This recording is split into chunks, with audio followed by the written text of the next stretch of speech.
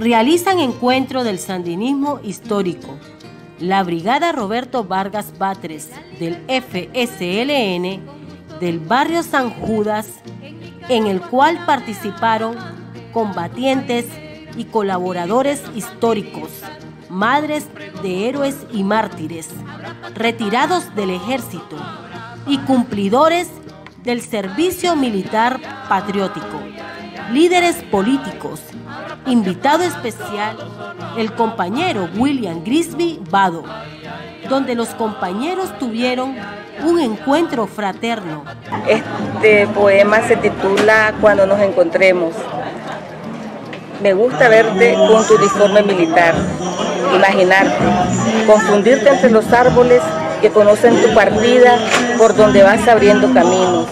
Mi mente se va aferrando a tu voz, diciéndome que partes a matar la miseria, la explotación de aquellos que quieren acabar con una familia grande y hermosa que se llama Nicaragua.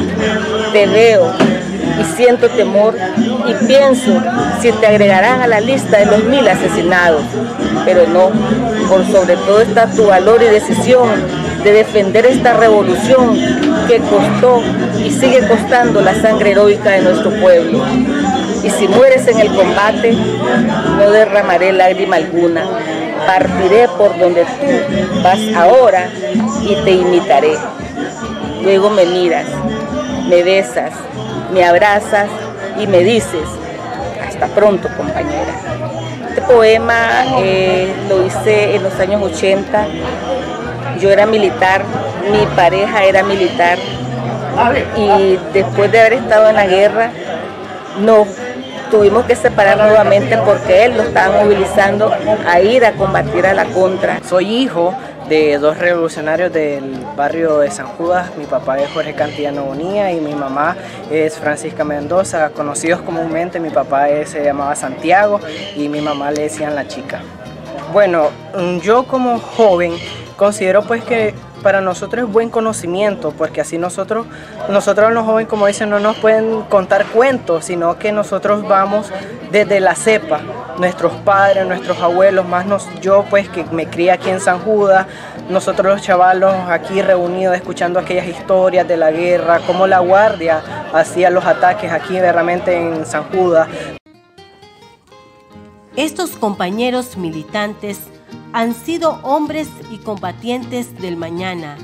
Han sido compañeros que han visto morir a otros hermanos de lucha, que han visto la sangre y el dolor.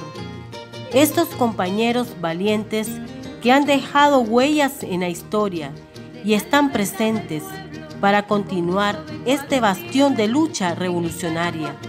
Somos militantes, obedientes y disciplinados somos colectivos, somos hermanos, aunque no seamos de la misma madre, porque vivimos y transformamos esta sociedad, este país, y en honor por nuestros muertos juramos defender la victoria.